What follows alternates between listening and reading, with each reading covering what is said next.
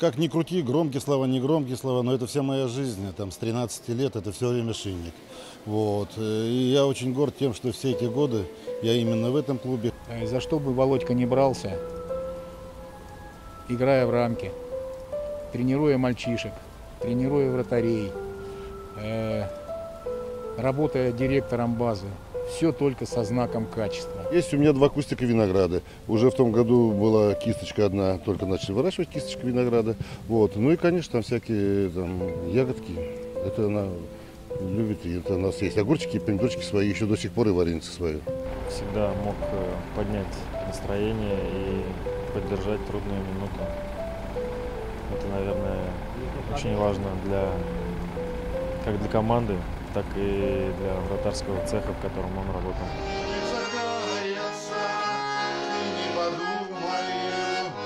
Я подожду, я подожду. человек таким безостановочным каким-то интересом приходил на тренировку и старался выкладываться на полную.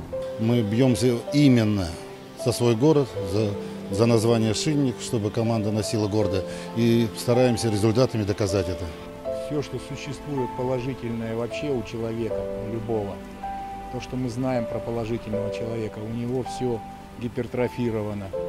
Игрок, вратарь, коллега, тренер, товарищ, друг, семьянин, человек. Все только с большой буквы. Силой можно помериться еще с молодыми, что мы и делаем. Вот. А планы это, конечно, работать в шиннике, помогать.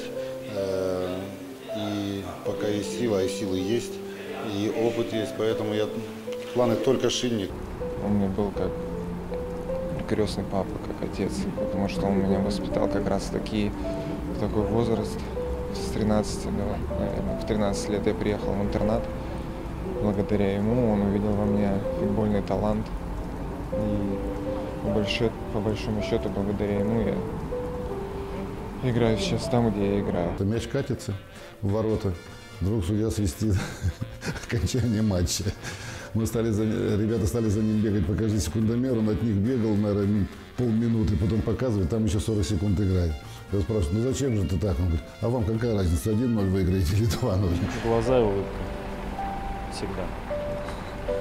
Глаза и улыбка. Добрые, отзывчивые глаза и улыбка, которая действительно искренняя, что в наше время большая редкость. Что касается подготовки, я могу сказать однозначно, что к каждому матчу готовимся с полной серьезностью. Магметыч, наверное, останется в сердце как позитивный человек и как тренер, который все-таки, как ни крути, а дал путевки многим. Просто спасибо, тренер, хотелось бы сказать ему на прощание. Это действительно очень большая утрата.